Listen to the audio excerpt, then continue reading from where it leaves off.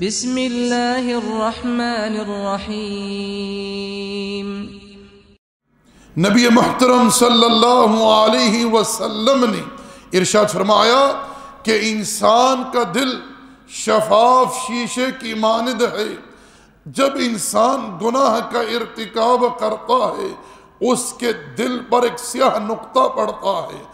اگر وہ توبہ نہیں کرتا، رب ذوالجلال سے گناہ کی بخشش طلب نہیں کرتا اور گناہوں میں کثرت کرتا ہے، تو پھر ایک ایسا وقت آتا ہے کہ رب ذوالجلال تقدس و تعالی اس کے دل پر مہر لگا دیتا ہے۔ نبی علیہ السلام نے یہ بات بیان کر کے پھر قرآن کریم کی ایک آیت کریمہ تلاوت فرمائی۔ جس میں رب ذوالجلال نے ارشاد فرمایا کھلا بل ران علی قلوبہم ما كانوا یکسبون، کہ ان کے گناہوں کی وجہ سے ہم نے ان کے دلوں پر مہر لگا دی۔ اس لیے جب بھی گناہ سرزد ہو جائے، فوری طور پر رب ذوالجلال تقدس و تعالی کی بارگاہ میں توبہ کر لیجیے۔